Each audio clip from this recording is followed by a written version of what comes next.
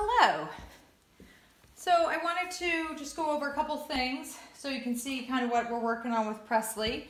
Uh, see me demo some of the exercises. First we're gonna work on name game. Now again, he's got a bone, so let's see what his choice is gonna be. This may be way too hard for him to wanna turn away from that, but it's a really good exercise in deciding how to proceed if things go wrong. All right, Presley.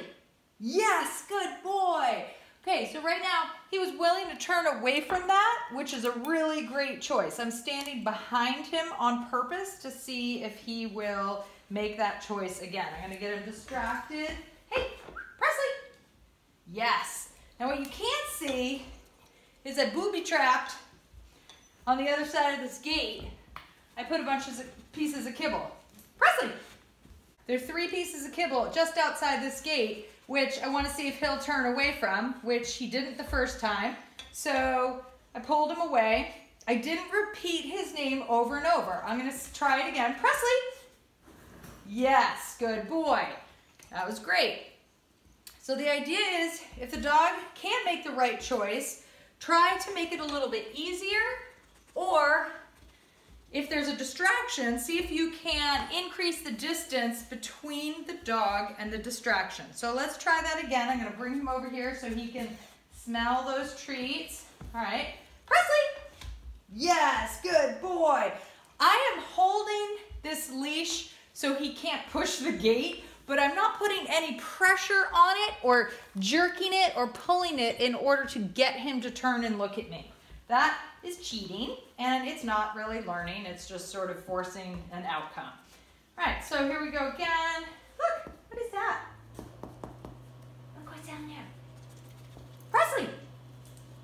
All right, didn't make the right choice. I'm gonna pull him slightly away from that so he can't get all the way over there. Presley! Yes, good boy. All right, I'm gonna show him this bone again. What's that? Good job. Presley! Yes, good boy. So the idea is to challenge the dog, but to not set them up multiple times for failure, okay?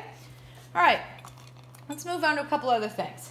All right, so Presley, sit. Okay, good boy. I'm not gonna treat him for sit, but we're gonna start working on down. Down. Use what's called say it, show it, pay it. So I say it, then he doesn't know what to do, so I lure him to the ground. That's the show it part. Show him what you want. Show him what that word means. And then pay for it is just that he gets a treat. Okay, I'm also gonna finish every exercise with the word okay, which means you're done or you're finished, right? So let's try again. Up, up. Sit. Good boy. Down. I was gonna pause for multiple seconds, then I'm gonna show him what I want, yes. Also using the word yes, which tells him, okay, you've done the right thing. That's exactly what I'm looking for. All right, Presley. Very nice. Okay, Presley. Down. that was funny. Down. yes, good boy. That was excellent. Good job. You get extra cookie for that. Okay. Ready? Come here. Presley. Presley, right here. Good boy. Good boy.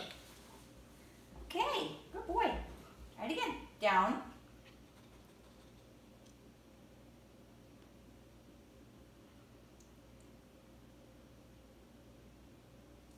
Down. Yes. Excellent. Excellent job. All right, now we're gonna just play a little game. I'm gonna have him run after some treats. Ready? Go find it. Oh, it's a good boy. Presley, come. Good boy. Just do something a little different for a minute. Go find it. Just tossing some kibble. Has to run and chase it. And Presley, come. Good boy. What a fun game. We're building some enthusiasm for recall. Chase a treat, get a treat. Ready? Go get it. I usually try to chase a treat. Presley, come. I try to have him chase something like kibble, not very exciting, but then give him something much better when he comes back. Like, go find it. Today I think I might have some deli turkey in my bag. Presley, come. Oh, it's such a good buddy. Such a good buddy. Okay, come on. Let's go. Good job. All right, down. Yes. Very nice. Good boy. Okay. Try one more time from the stand. Let's go. Okay, down. Yes, good boy. Okay. Come on. Down. Huh? Let's try from stand. Ready? Come on. Over here. Come on, Presley. Good boy. Good boy. Down. Oh, we gotta go to sit first, okay. All right, let's go. Down. Yes. Good. Okay. Good boy. One more time. Ready? Presley. Down. Good boy. Okay.